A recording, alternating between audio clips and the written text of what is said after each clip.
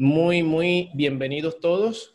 Y bueno, voy a comenzar aquí ya a, a compartir la pantalla porque mm, vamos a estar un buen rato acá, entonces es mejor comenzar ya. Bienvenido Francisco también. Por favor, me confirman si están viendo la pantalla.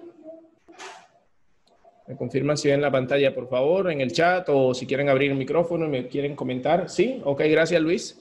Está viendo bien. Entonces, como te venía diciendo, hoy vamos a estar hablando de eh, atraer tráfico hacia nuestra oferta. Vamos a estar hablando de qué es tráfico, generación de tráfico, cómo atraer tráfico, errores que debes evitar, crear cuentas empresariales de Facebook e Instagram, conectar Instagram, Facebook y WhatsApp, y cómo cometer cómo conectar mi número de WhatsApp Business a mi página de Facebook. Y, eh, pues adicionalmente viene el siguiente módulo, el módulo 10, que es ya eh, los anuncios publicitarios en Facebook. Entonces, vamos a ir aquí a la siguiente diapositiva y ya esta es una imagen que es pues muy habitual para todos ustedes, ya la conocen, que es eh, lo que concierne a un embudo de venta y, no, y es lo que hemos estado tratando de, explicarle a cada uno de ustedes. En el embudo, pues lo que hacemos es atraer a los fans, a los seguidores, a los prospectos, a que lleguen por lo menos aquí a la boca del embudo. Y eso lo hacemos pues colocando contenido de valor en cada una de las redes sociales. Y luego, o también en el blog, bueno, también hay otra forma de generar contenido, ahorita lo vamos a ver. Y luego, pues de ya tenerlos aquí en el embudo, lo que vamos a hacer es a tratar de que esas personas se conviertan en lead. Ok, lo primero que vamos a hacer es que lleguen hasta nuestro, hasta nuestro WhatsApp o hasta la oferta que vamos a tener, bien sea un lead magnet o bien sea una landing page. Bueno, sea lo que sea que vayamos a ofrecer, lo tenemos que convertir en lead para luego abordarlo por último, venderle y ya convertirlo en cliente y ese cliente pues lo conectamos, le hacemos seguimiento y hacemos que se, se convierta eh, en un promotor de nuestra marca, o sea, que nos recomiende y que también pues sea un cliente recurrente que nos vuelva a comprar. Bueno, en esto no voy a profundizar mucho porque ya lo hemos hecho en, en otros módulos y en otros cursos. Y ah, luego tenemos la generación de tráfico, que bien sabe ustedes que la mayoría del tráfico viene de las redes sociales a través de YouTube, de Twitter, de Facebook, así como también eh, proviene de los emails que enviemos a través de campañas eh, o si tenemos blog y publicamos periódicamente artículos, pues también vamos a traer por allí bastante tráfico hacia nuestra oferta. Podemos también crear eh, lead magnets como eBoot y también eh, podemos crear podcasts o si no, con una estrategia de tráfico orgánico en todos los buscadores. Entonces, de esta forma, podemos atraer bastante tráfico hasta nuestras ofertas, que es lo que vamos a buscar, ¿no? A, que la gente llegue a través de las redes sociales y nos escriba a nuestro WhatsApp. De allí es que vamos a, ofrecerle eh, el producto que vamos a vender y allí es que lo vamos a cerrar, lo vamos a convertir. Entonces, por eso es muy importante, pues, que ustedes tengan una excelente estrategia para atraer tráfico.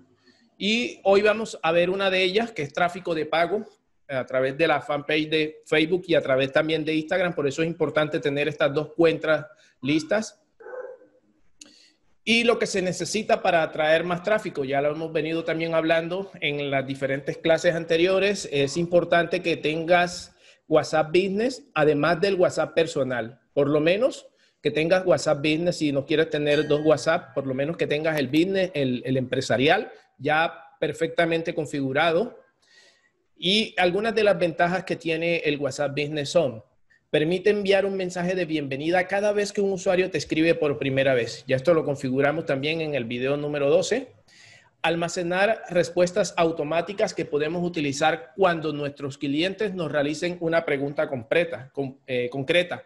También lo estuvimos analizando en la clase anterior, estuvimos, pues ya ustedes saben que colocábamos el enlace y la letra o el número que, que le vayamos a colocar a cada una de las respuestas que tenemos allí pregrabadas Permite tener un mensaje de ausencia para que tus clientes no se queden sin respuesta fuera de horario. Tú sabes que en WhatsApp Business también puedes crear un horario de atención al público y cuando no estés atendiendo al público, bien sea en la noche o los fines de semana, principalmente el domingo, pues puedas enviar ese mensaje y ya los clientes que te escriben por primera vez eh, o los prospectos que te escriban por primera vez saben que eh, lo atiendes en un horario comercial. Si tenemos una lista de difusión, podemos agregar múltiples números sin necesidad de agregarlos uno por uno. Esto principalmente lo vemos cuando agregamos etiquetas. Ya también trabajamos esa parte de etiquetas. Entonces, cuando agregamos a las personas con etiqueta al WhatsApp, podemos enviarle un mensaje de difusión sin necesidad pues, de tener que agregar uno por uno a la lista. Eh, también podemos editar nuestro perfil, comprobar las estadísticas, situar nuestro negocio en el mapa, agregar un horario comercial, descripción de la empresa, correo electrónico y nuestra página web. Todo se puede editar en el WhatsApp Business.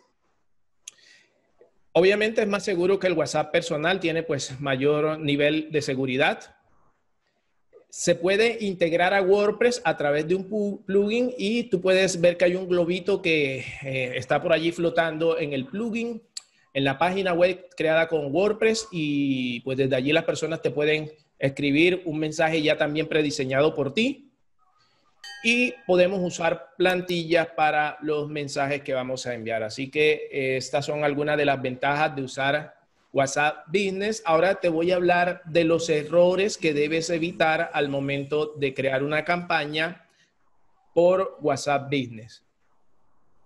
Primero, no debes enviar mensajes sin permiso de los clientes. Esto se conoce como spam. Entonces, siempre es una táctica que es un poco intrusiva y ya estuvimos hablando también anteriormente de esto. No quiero que tú lo hagas, quiero que hagas una campaña en las redes sociales donde las personas sean los que te tengan que escribir a ti y tú no tengas que escribirle a nadie, sino que ya cuando ellos te escriban tú les respondes.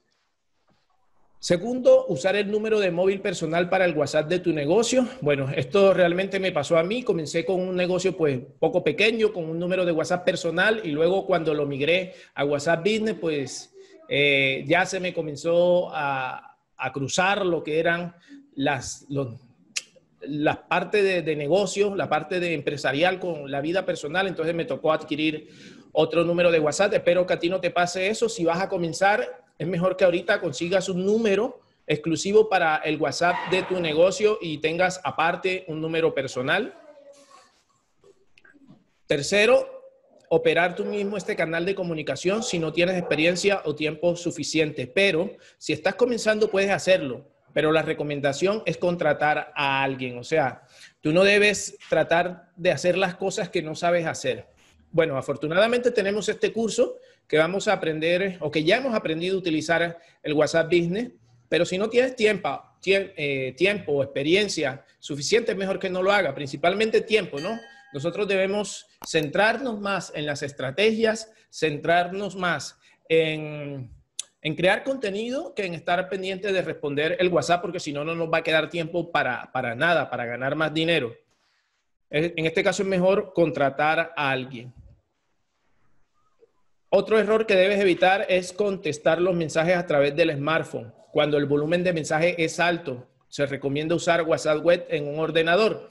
O sea, hay un momento en que tú comienzas, pues, colocas una campaña, ¿no? Tú estás acostumbrado a, enviar o a contestar mensajes, pues, moderadamente, pero colocas una campaña en Facebook, le inviertes un buen capital y seguramente que te van a llover 40, 50 mensajes todo el día y vas a estar todo el día interactuando con las personas. Entonces, si vas a hacer esto así y no vas a tener un autorrespondedor en WhatsApp, es mejor que respondas a través de WhatsApp web en tu computador. ¿Por qué? Porque es más fácil porque te va a permitir hacer otras cosas. Y pues si estás desde el celular, desde el smartphone, no pasa nada, pero este, lo que va a pasar es que vas a gastar mucho tiempo y lo que quiero es ahorrarte todo ese tiempo. Así que este es un error que debes evitar.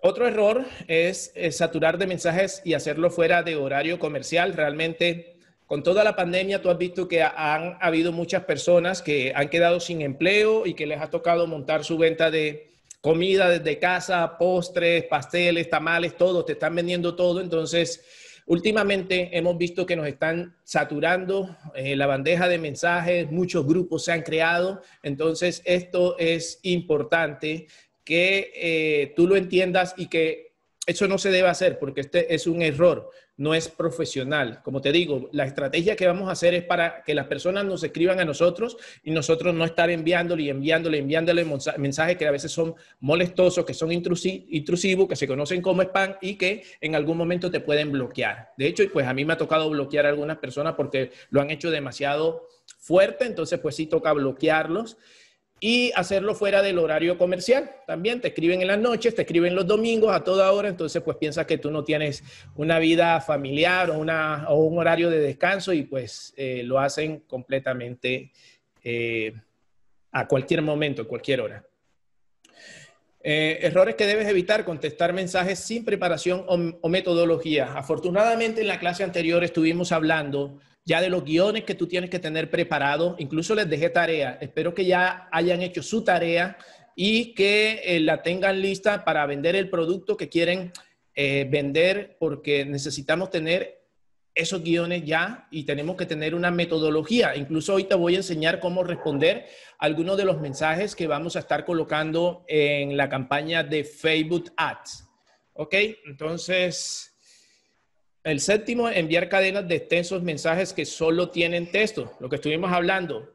Máximo 40 palabras por mensaje. Máximo, una respuesta no puede tener sino 40 mensajes, si te va, eh, perdón, sino 40 palabras. Si te vas a pasar de más de 40 palabras, es mejor que escribas otro mensaje, ¿no? Porque a la gente no le gusta leer, mucho menos si tú le envías un chorizo de puro texto, pues no lo va a leer, no vas a vender, no vas a ser efectivo. Bueno, esos son algunos de los errores que debes evitar y por último, usarlo exclusivamente como herramienta de venta. A pesar de que nosotros vamos a vender por, internet eh, con, WhatsApp y a pesar de que es lo que te estoy enseñando, mi recomendación es que también lo utilices para brindar soporte, para eh, usarlo como herramienta de postventa y también para que la gente sepa que está hablando con un ser humano de aquel lado, del otro lado, ¿no? Que es alguien que le responde y que está también atento a él. Entonces, no lo uses únicamente como para vender, Ves que hay gente que nunca te escribe y te escribe por primera vez y te sigue mandando promoción y promoción y promoción como, como si tú le hubieras dado permiso para eso. Y no, no, es, también entablar como una comunicación un poco más humana y eh, ser un poco más atento con la persona que te está comprando. Seguramente te vuelve a comprar en más de una ocasión.